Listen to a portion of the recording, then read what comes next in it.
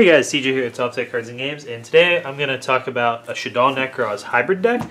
Uh, the idea was kicked around a bit last format, uh, where it ultimately was found to be a bit too inconsistent and weak to a lot of cards that were already being played in the meta. Uh, the main reason to play it in the mirror match is access to the Water Shaddoll Fusion, Annoy Tillis, or whatever in the world its name is.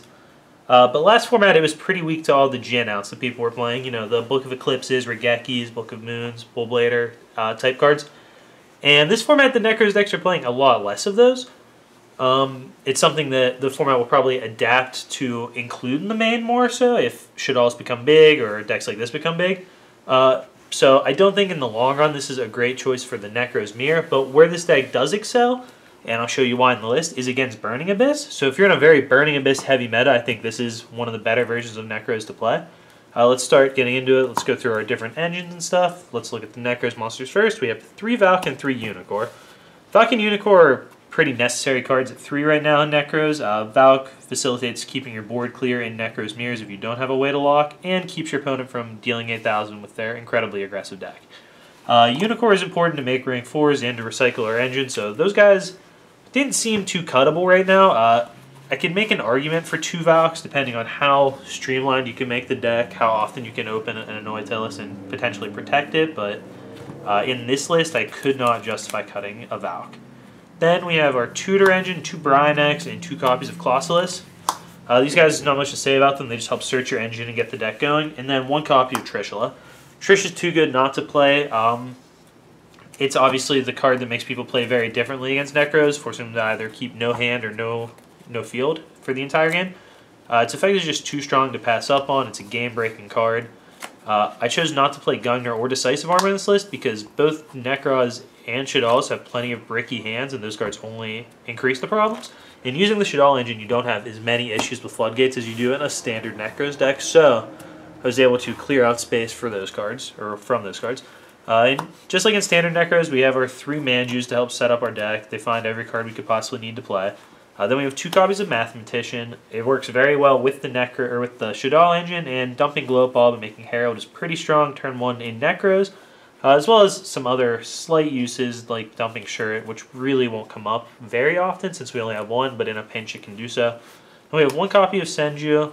Uh, just having all the clunky normal summons with these cards and the Shaddoll monsters, there's just not space for a full set of Senjus. Then we have one copy of Armageddon Knight to go with reinforcement of the army. Uh, Armageddon Knight has a lot more utility than, say, like an Exiled Force or something in this deck, uh, since you can dump all of your different Shaddoll cards, and as far as having a Rhoda out to something like your opponent's Annoy Tillis, uh, it just seemed better to me to have Armageddon Knight that can search up, you know, your other Shaddoll monsters by dumping a Hedgehog, or just get all that utility. It just seemed like it brought more to the table to me. So there's our normal summons that help get our engine going. Then to go with the Mathematician, like I said, we have Glow Up Bulb gives us access to some of our extra deck, or some extra deck cards rather, that we wouldn't normally have. Uh, it's an Earth, though that's not relevant because I'm not playing any Sheks. And it's just a really cool card. Uh, one Shurit, I would obviously play more if I could, but he's limited to one. Uh, one of the big issues with the Shaddoll version is that there's not really space to play cards to recur Shurit. So we kind of have one Shurit, we're just going to work with that and see where it gets us. Um, this list is probably a little too unrefined at this point, and I think that it would take a lot more work to really squeeze out the most of it, which I'm kind of working on, but I think this is a pretty good list to start with for now. Uh, but not having a Dance Prince or something either means that you're going to have to try to play the game without Shurit, you're just going to have to play really tight, make sure you can recycle your Shurits, or maybe it just means that you're going to have to, you know, not uh, play this exact list and fit a Dance Princess in. I don't know. But so far it's been okay. I've been able to recycle the Shurit as much as possible. Um, and I haven't really lost anything to not having Shurit. But let's get into the Shaddoll engine. We have two copies of Beast, two copies of Dragon, uh, one copy of Hedgehog, one copy of Falco, and one copy of Squamata. Uh, these numbers were chosen because, like I said, this is a Shaddoll or um, Nekroz variant that I want to play in a Burning Abyss heavy meta. Uh, so I'm playing multiple dragons instead of like more Squamatas or Falcos. Like I would play, and if I was playing for the mirror, I would probably change one of these for another Squamata just because it's a card with a little more upside a lot of the time. Um, these guys are really your outs to kind of monster floodgates like Spell Canceller and stuff, either running over them or getting them off the field by setting them. So We also got a lot of the Shaddoll cards. Uh, seven is enough to play three fusions for sure, which is all we're playing. Uh, speaking of the fusions, I'm playing three of regular Shaddoll fusion as my fusion spells. Like I said, you want to play this deck in a meta of Burning Abyss. Uh, it's fine in a meta like Settlers too if they don't know you're playing the Shaddoll cards uh, initially, so they don't make Diamond, which would normally be a dead card against you. Um, this card lacks in the mirror, where El Shaddoll Fusion would be able to help you push game through Valks, but in the mirror match, I think just being able to summon uh, is probably a little bit better than playing a gimmicky card. Not a gimmicky card necessarily, but a card that has less utility against other matchups to try to force through game occasionally. I just think that the value this card has against other decks is just high enough to play it over those other cards, or the other fusions. Uh, then we have three reinforcement of the armies. You still need to find your Shurit, finds Clausolas, and finds Armageddon Knight. Uh, ritual spells, two Kaleido, two Mirror, two Cycle. And finally, one Preparation of Rites. Prep's too good not to play, obviously. It does everything this deck could possibly ask for, and that's really all there is to it. Uh, moving into the extra deck, this is really tight. Uh, there's a lot of cards that I wish were in here that aren't, but we have, you know, 15 spots to work with. Uh, we use two Construct, one, let's let's try to figure, yeah, Annoy-Tillus is right, not Annoy-Litis. One Annoy-Tillus and one Winda. Uh, this is a bit low when you consider that we have three fusions plus the ability to recur them. Uh, but if the game goes long, you can use Emerald to shuffle them back in or, you know, whatever. And honestly, if your fusions are very dead very, very late in the game, that's probably okay. The Nekroz engine should be able to get you there. Uh, no shacks because we don't have enough Shaddoll monsters to con or Shaddoll cards in general. Just consistently pitch to negate with it.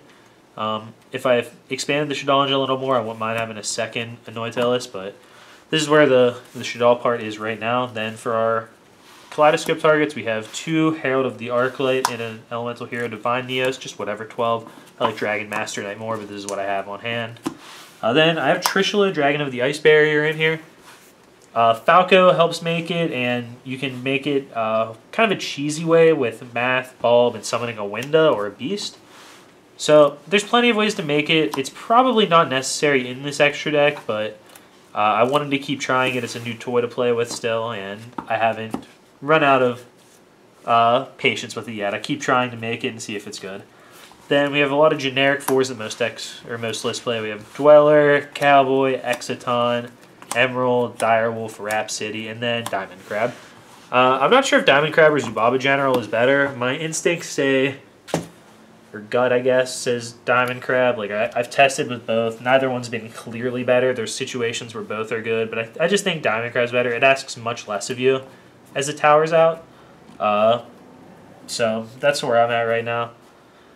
Uh, but yeah, that's the list. The the deck is really bricky and kind of inconsistent compared to a standard Nekroz deck. Uh, it has all of the tools of Shaddolls and all the tools of Nekroz, though, so that's pretty cool. In the mirror, it has the bonus of locking you out with Annoy-Tillus, which is great. Uh, uh, not an unbreakable lock by any means, but it does get a lot of value and do a lot of work. Uh, the deck really excels against Burning Abyss and stuff, where it can play Shaddoll Fusion, dump from deck, and really go off. Um, and I think it's really cool. I think all those things are really neat. I think it's got a lot of game, a lot of different advantages from standard Shaddolls or standard Nekroz. Uh, it's probably not the best deck in the format by any stretch, but I think that the engine is pretty cool and warrants some testing. Uh, and the list could probably be refined a little more. The big concern to me is that there's no way to recycle Shurit uh, and you can run out of live fusions uh, much earlier than you draw all of your fusions, really. Uh, so that one can be fixed by playing something like a Jar of Avarice, which isn't bad in Nekroz in general. I've talked about that before. I've played it in Nekroz. It's, it's a fine card. Uh, and the Shurit thing can be fixed. Well, it can be helped by Jar of Avarice, but that doesn't help if you're put into a pinch where you have to remove it early. Though that one can be fixed with a copy of Dance Princess. Um, some other things, ways to protect the Annoy-Tillus, like lances or scoldings or something. Uh, if you expect a lot of the mirror, you can tune the Shaddoll variant to play the mirror, though I'm not sure that's any better than just playing a standard Nekroz list. Uh, plenty of things to try, plenty of ways to adapt this to your meta. But like I said, this one was built assuming you're in a BA heavy meta, and that's really where this specific list excels. Uh, I hope you guys like this video. Uh, it's definitely not the most original concept ever, but I think it is a better better way to take Shaddolls or Nekroz and just jamming the most standard list possible. Uh, I don't think that's really the right choice. You want to try to do something a little bit different with the deck.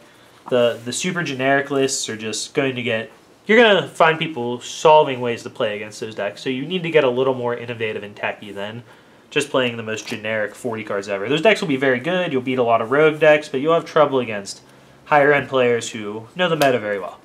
Um, but for a starting point on Nekroz Shaddolls, this deck seems really good. I definitely want to test it some more, see where I can get it. Um, it really depends on your meta, though. I think I'm going to work on making a version to play the Mirror next, kind of focused around Annoy locking out with Scoldings and stuff, and see where that gets. Uh, but if you guys have any questions, let me know down below. Make sure you like the video and subscribe to the channel for more content. There's plenty of new format Yu-Gi-Oh! coming uh, soon on the channel. I really like this format right now. I think Jin was the only real problem with last format. Um, obviously, there was some broken stuff, but nothing ruining it. Uh, so, so far, so good. Thanks a ton for watching, guys, and I'll see you soon.